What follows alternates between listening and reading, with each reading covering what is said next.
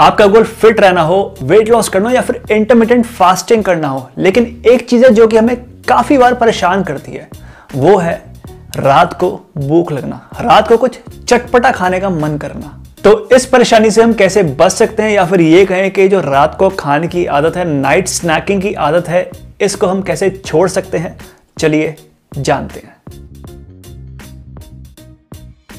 Shift your eating window अगर आप अपना डिनर जल्दी करते हैं और आप रात को लेट सोते हैं तो भूख लगना एकदम नेचुरल है।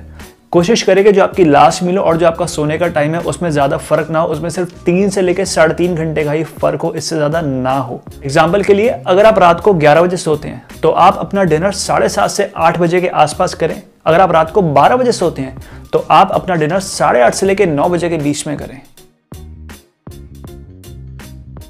ईट फाइबर एंड प्रोटीन अगर आपकी लास्ट मील में फाइबर रिच फ़ूड ज़्यादा होता है प्रोटीन रिच फ़ूड ज़्यादा होता है तो उसको हमारी बॉडी को डाइजेस्ट करने में थोड़ा ज़्यादा समय लगता है, जिसके कारण कि हमारी बॉडी में फुलनेस की फीलिंग बनी रहती है और हमें आसानी से भूख नहीं लगती। हर्बल टी हर्बल टी हमारी जो स्नैकिंग की इच्छा होती है, उसे कम करने में सपोर्ट करती है। और जो ब्लैक टी होती है ब्लैक कॉफ़ी होती है, वो भी जो हमारी जो स्नैकिंग की जो क्रेविंग होती है, उसे कम करने में काफ़ी सपोर्ट करती है। इसी से रिलेटेड वीडियो हम ऑलरेडी बना चुके हैं। उसके लिए मैं ऊपर आई बटन में डाल दूँगा तो आप क्लिक कर कर उसे देख सकते हैं।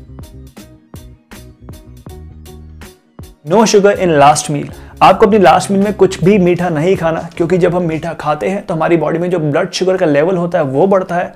फिर हमारी बॉडी में इंसुलिन रिलीज़ होता है, और इंसुलिन रिलीज़ होने के बाद हमारी ब्लड शुगर का लेवल लो होता है, हमारी बॉडी क्रैश होती है, और फिर हमें बहुत ज़्यादा भूख लगती है, हमें बहुत ज़्यादा क्रेविंग होती है कुछ मीठा फिर से खाने की।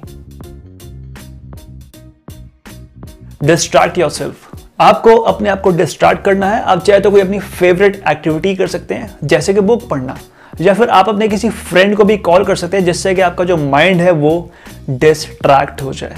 इसी चीज़ के ऊपर हम ऑलरेडी एक वीडियो बना चुके हैं, उसका लिंक मैं ऊपर आई बटन में डाल दूँगा तो आप उसे क्लिक कर कर देख सकते हैं। वो वीडियो आपके लिए बहुत ज़्यादा हेल्पफुल होगा। तो उम्मीद करता हूँ कि आपको वीडियो पसंद आया अगर आपको वीडियो पसंद आया तो वीडियो को लाइक कीजिए चैनल को सब्सक्राइब कीजिए। थैंक यू वेरी मच धन्यवाद. चाओ